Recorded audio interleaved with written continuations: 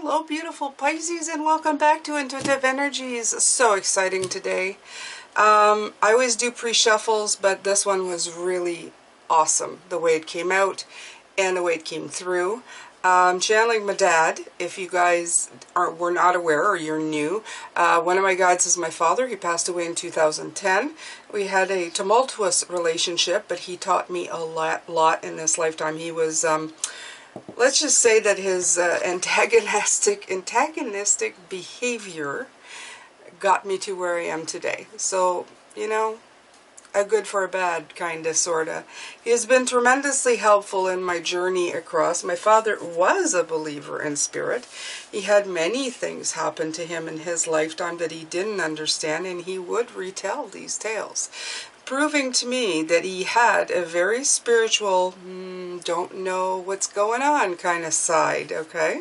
He was also very well known, um, uh, what do you call that? Somebody who stops blood. Like he could, if somebody was bleeding, he could put his hands on them and stop them from bleeding to death, which was a really fantastic gift. Um, okay, a little bit about my dad as a human being. And now I'm going to, this is his deck of cards. This is the, the this one in particular, not this one here. This is the one that I added to it because I knew he would love these cards. And uh, they, they really offer some great information. Anyway, Dad came through this morning. I'm going to get to it. Dad came through this morning with some awesome, awesome, uh, great common sense that I absolutely am tickled pink to have received. When I was shuffling, these cards came out in order. Uh, the two twos, the six, the two, and then the two eights, and the nine. So I'm going to explain. This is the two of hearts, or the two cups, which means harmony.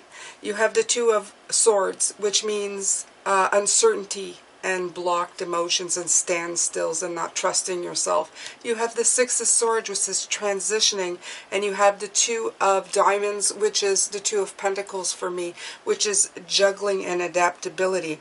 You also have the Eight of Wands and the Eight of Swords. The Eight of Wands is moving in quickly. The Eight of Swords is, of course, blocking yourself. And at the end, you have the Nine of Pentacles, which is, of course, your hard work paying off. Okay, so right away, I'm going to speak about the different aspects of this, and there was a lot that came in. It was like a super quick download. So I'm trying to get it out to you before I miss it or miss something. The Nine of Pentacles, the way it came out with a different deck, is the outcome for me. So basically, John, who is my father, is saying that it doesn't really matter what kind of journey you make for yourself with the rest of these cards, okay? How you match them up together to get to where you need to go. You are going to succeed, okay? But the idea here is how you get there, okay? Now, if you've realized, first of all, there are three twos. If somebody would like to write down there, because I'm not a special specialist about angel numbers. If you guys know what it means, look it up, whatever, write it in the comments so everybody can see. That would be great because I find that came through, that the synchronicity of the three twos. And not only that, what's not lost on me is that 222 is actually 6, okay? So these are kind of, there's a lot of synchronicity here, okay? The other part of it is, is that when you put 6 and 2 together, it does make 8, okay? The next message that came through is that depending on the pairing of these, you get a different outcome. And that was a really, truly brilliant part of this little equation. My father is very good at math. So, all right, we'll start right away. If you put this 6 and this 2 together, which is the 6 of swords, which means transitioning, moving into a different direction with the Two of Cups into harmony. If you're transitioning into harmony, you will get movement with the Eight of Wands. Okay? However, if you put the six and two the six and two of swords together, which is transitioning into uncertainty and unbalance and feeling blocked, well, you're going to be blocked yourself with the eight of swords. So this, again, very brilliant.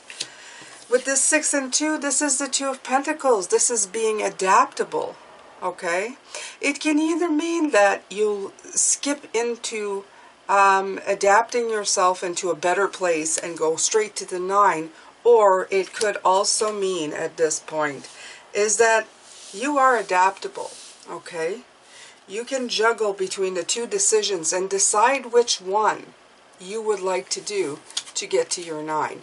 Either way, these blocks will eventually get removed and you will hit your nine, but which path do you want to follow? Okay? Do you want to be adaptable so that you can get here quicker? Okay? So this is talking about transition and the way that you're going to get to it. Okay? He is saying that it is really all up to you. Do you take the easy way and the hard way? And I really consider him an expert on this because most of his life he took the hard way.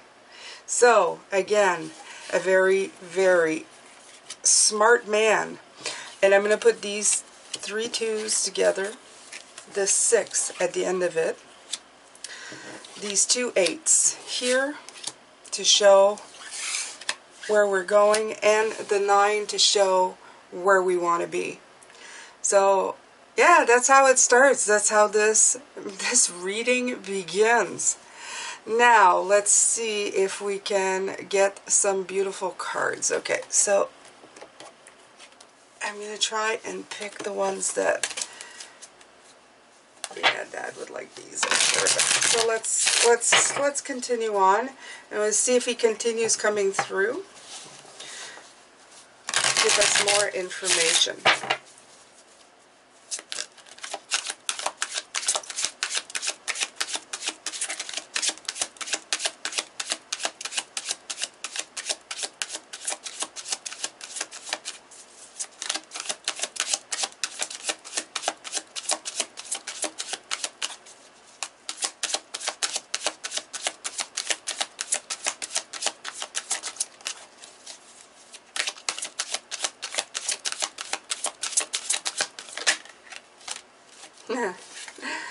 Transition. Death card. Okay? Right. Are you going to make it hard? Are you going to make it... Are you going to persevere? Are you going to make it challenging? Okay? Are you going to argue your principles at every turn? Okay? Because this is defending yourself. This is like putting up your your sticks and your haunches, and it's exactly what he's saying, okay?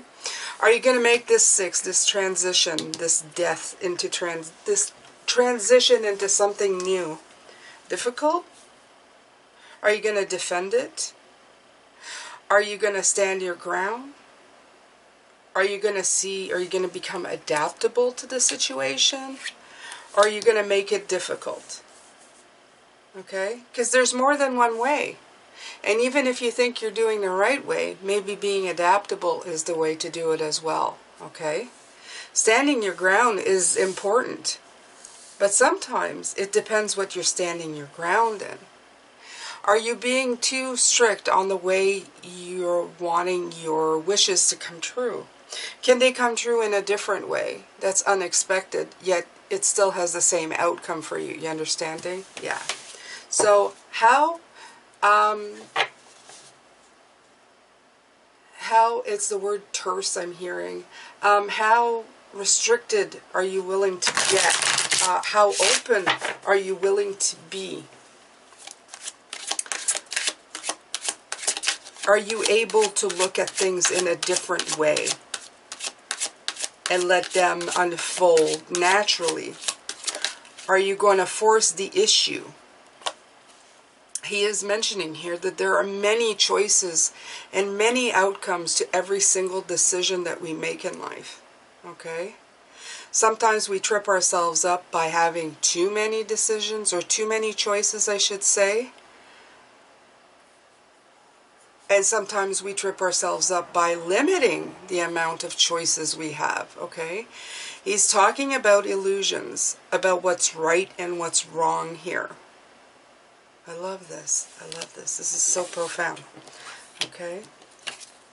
Um, if you haven't noticed, we are being schooled today. Yes, we are being schooled today. I like it.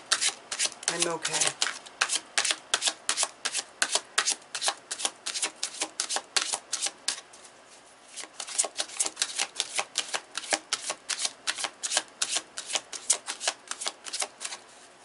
He's asking, he's, he's really asking to take the time to really look at all your options, okay? Are you curtailing them? Are you stopping the progress of things? Are you making it slower than it needs to be? Because that's the Eight of Wands. It's a faster energy. The Knight of Pentacles is a slower energy. He's saying it doesn't matter really what kind of progress you're making as long as you're moving forward towards your 9, 3, 6, 9. Okay?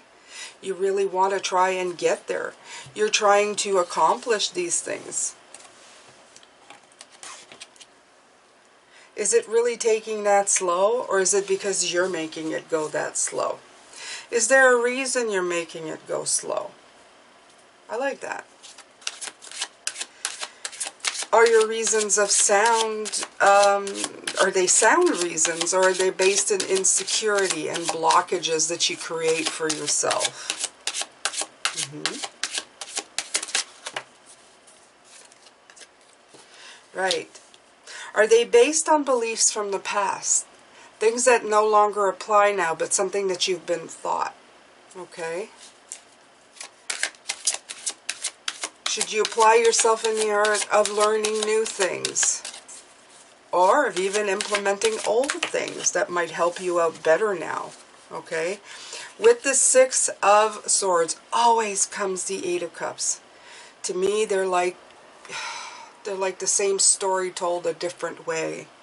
Okay? So, sometimes leaving old beliefs is really hard. It's a hard thing to do. To go out into life and make a new way for yourself. It really is hard.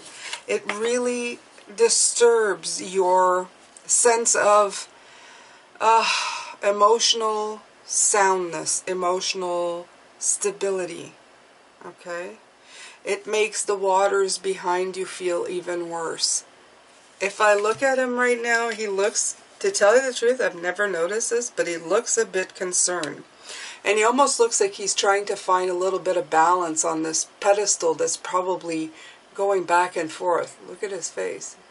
Look like, hmm, I don't know about this. See? He's taking his foot out like, uh, I don't know. I don't know. There's a lot of choppy water back there. So it takes away from that, that mature emotion that you feel, that it linked to stability, how you feel inside, you know, your sense of security, what you're used to.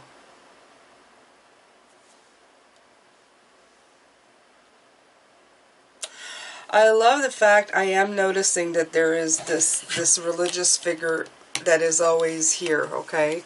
So this transition, again, you see him here, you see him here. Uh, this religious um, figure is like the transition of it, okay? It's like something old, like, okay, it's, it's this, this way of thinking is done. Uh, you need to adopt a better way, a different way, something that will suit you better, something that will get you farther, something that will help you grow, Okay.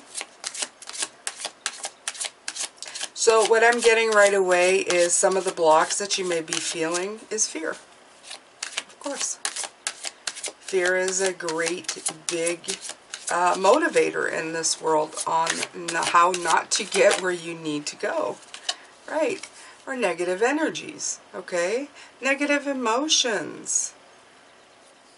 Negative people Sometimes you talk to people and they talk you out of it. Oh, I wouldn't do that because, you know, you're not too sure about it. And are you sure? Or they pick up on your energy of indecision.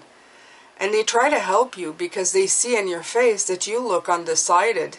That happens too, you know.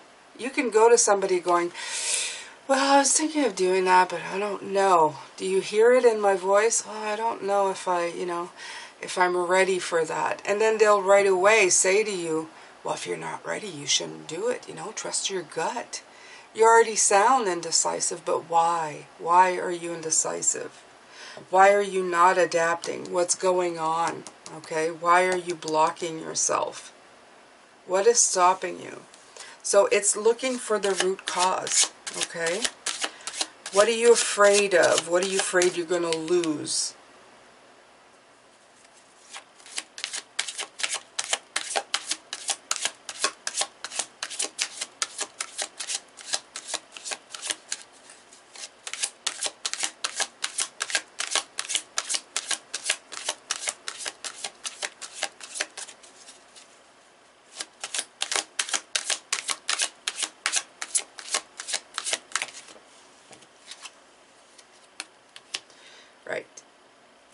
Crucial to this situation is the King of Wands and his energy of just taking, picking up the slack and going with it, okay? To become your own natural leader. Um, to be dynamic in your responses and your solutions. Um, to be authentic about what you want and be truthful to yourself, okay? To make a concrete decision and have the courage to follow through. To follow your real gut feelings okay? And to meet challenges with a lot of gusto and reverence, okay?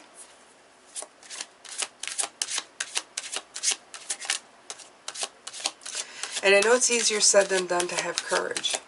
But courage is just not walk, only walking into a dark room and being scared of the dark. Courage is also about just using the tools that you have available for you. You have a lot of older type energy here because you have two kings and a queen. You have a priest here. There's a lot of like... I find it's not to say that the younger people don't go through this, but this is, I find, a more mature energy. This is for people who've been burned before, okay? This is people who have made decisions that didn't always pan out. Or people who haven't made enough decisions, who have taken a safe route, okay? Who have honed in on how to be live safely in their lives and now are deciding to suddenly take a chance. Okay, so the Queen is a strength of character. She's actually my defining card in the deck. Um, you have to be really believe in yourself, okay? Believe in your strength of character. Believe in your critical thinking. Uh, believe in your intelligence and the truth that you tell yourself, okay? Believe that you are self-aware and that you have taught yourself a lot and that you are very wise in your decisions, okay? But don't restrict yourself because she can also be the kind of teacher that you know, will talk herself out of things. She's very much of the mind, the Queen of Swords. So remember to be really clear in your communication. Don't let the Page of Sword inexperience energy walk in. Make sure that you are dealing with this type of energy. That you have the clear and concise thinking to adapt to situations. That even if you do take a step towards the unknown, that you have enough intelligence, enough um, uh, enough education, and I'm not talking just school education, I'm talking about knowledge and education to know what to do if something comes up, okay? It's not always somebody showing up around a corner scaring the crap out of you with something new. Sometimes you can see these things that are going to pop up in these new journeys way before they do okay? It's not always surprise. You weren't expecting this. Some of it is just, oh, okay, this is coming up. Well, I'm going to deal with it. Know that you have the maturity and the experience to deal with it, okay? Right. And there's that courage card again. That strength card, okay? That inner courage. It's to find it's to work with that wild part to find balance between your logic and your impulses.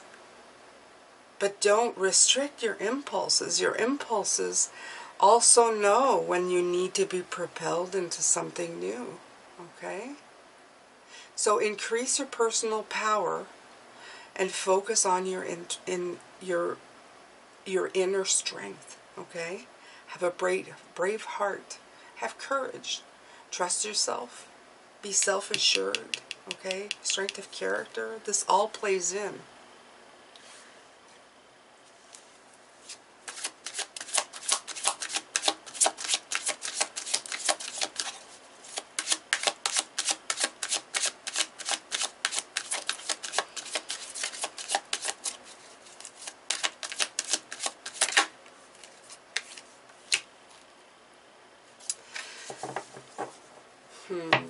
Some of you are afraid of losing something, okay? You're afraid of this insecurity. This the insecurity itself is the problem. Okay? The uncertainty, this uncertainty will come inside of you, okay? It's about worrying about things before they happen. It's about thinking scarcity before it happens or before it's even there. It's excluding yourself, it's instability. It's a very dark path that you follow and make yourself believe, okay? And again, it's under the sword, the air card, the mind card. It talks about the way you perceive things. Do you perceive them with scarcity or do you perceive them with abundance? Do you perceive it as a brand new challenge, things that you can adapt to? A harmonious future that you can work on? Or do you perceive it as something that's going to trip you up and ultimately turn out bad? Like, like you said, your Nine of Pentacles will come in, but you have to choose. Okay, you have to choose which cup you're gonna you're gonna go by and it's funny there's four okay? So I love that. Which one are you gonna pick to be your natural self? Which cup? Right now you're not picking anything. Right now you're in a break. We talked about that yesterday. You're taking a break. But what spirit has told me is that this is your state of mind when you have a minute to rest, your mind defaults to, what am I going to do? Okay? What story do you make up in your mind? Is it a great outcome story? Is it a hopeful one? Or is it the one that is going to have you is it the one with abundance or is it the one that's going to have you surmounting challenges? Okay?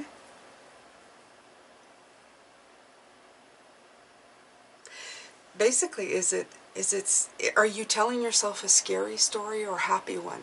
This is really what this is. Okay? Which path are you taking? Which path are you uh, putting a step on in your mind?